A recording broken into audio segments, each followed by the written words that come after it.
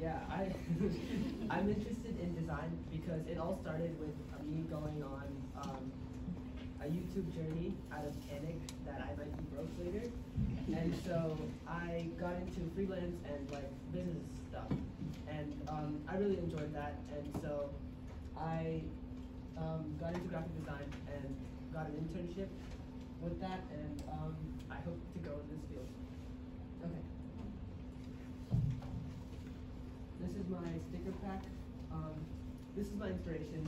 I started with very, uh, very element uh, designs with um, one major focal point, and so I had a very simplistic design for this. Yeah, very cool. And these are the results. Um, I had I chose an overarching theme of being an evil corporate, and so I chose to do um, a money sign, or yeah, money for just representing me. These are some, there's like some references to who I am.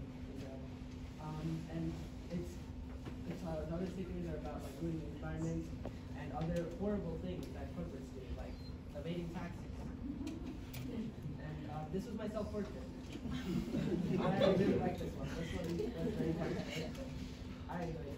And yeah. You It's, very characteristic. and these are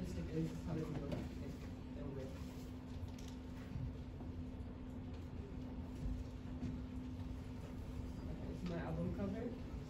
Um, this is my inspiration. I wanted to do um, Ado, which is a Japanese artist who's a very um, melancholy and her music's usually like really sad and about being lonely and being content with who she is, but um, hating society.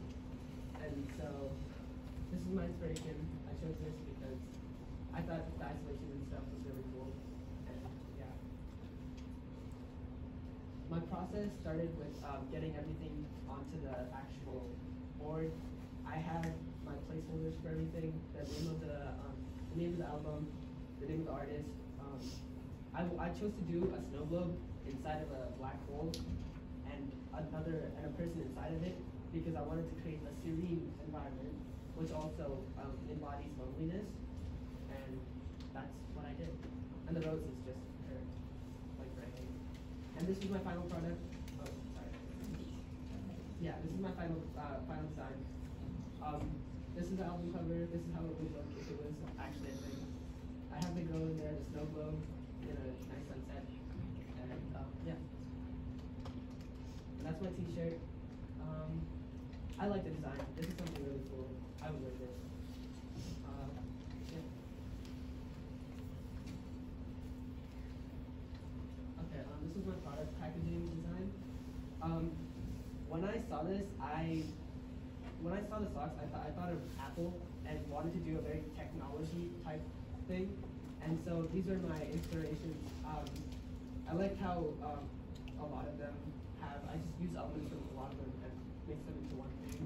Like I use the sleek design of the iPhone, the wood finishing of the other socks, and some silhouette stuff here. This is my inspiration. And this is my final project. Uh, this I like this because it has the uh, the zebra, the mascot. I, that was really cool. I like the way I used um, used the gradient to make it look metallic, but also resemble uh, zebra properly. And um, yeah, I like how uh, how how metallic and futuristic it looks. And if it doesn't work out, then repurpose it to be a cigarette pack. That's my yeah, and that's that's how they would look. Oh, this is my jazz guys. Uh, this is my sketch. This is how I started it. Um, the Texas Jazz Festival has very Texasy branding, and so I chose a desert setting for this, and I had, um, and my target audience was um, families, local families that like want to come watch or want to come hang out with their families in a place like an event. And so I wanted um, a, bunch of, a bunch of families of animals watching a snake play the saxophone, which is which I was the original idea, developed to be. This is my logo. Um, I kept the branding colors and stuff. I have the star as the as a snake eye. Yeah.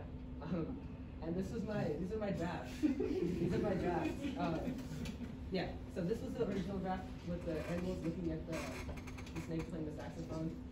That was um, that was really cool. After critiquing critiquing, um, oh sorry. Yeah. Um, I decided to turn around and change it to something really different.